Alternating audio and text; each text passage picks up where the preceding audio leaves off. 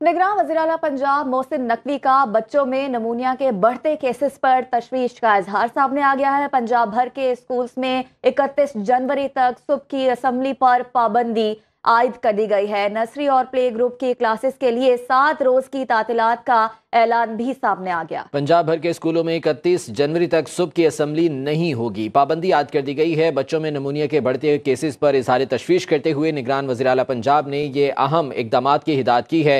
Nursery और play group की classes के लिए सात रोज़ की तातीलात का ऐलान कर दिया गया है। इसके अलावा प्राइमरी स्कूल के जो बच्चे हैं, जो तलबा हैं, उनके लिए असम्बली नहीं होगी। सोहेल अब्बास बलोच हमारे साथ मौजूद हैं। अपडेट्स उनसे जान लेते हैं। सोहेल मौसम की शिद्दत के पेश नज़र इकदाम उठाए जा रहे हैं। निगरान हुकूमत की जानब से क्या हिदायत जारी की गई हैं?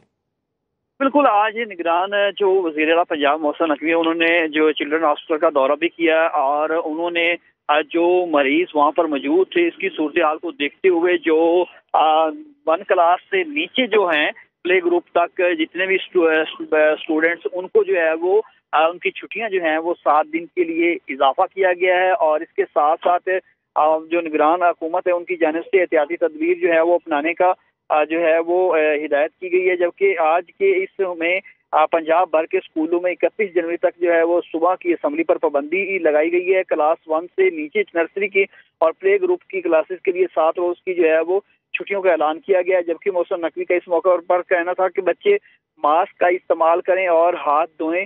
गर्म कपड़ों का भी इस्तेमाल किया जाए सर्दी में इजाफे के साथ वायरल नमूनिया जो है वो खसूस बच्चों में ठीक है अहम हिदायत जारी की गई हैं। बहुत शुक्रिया सोहेल अब्बास बलोच अपडेट करने के लिए।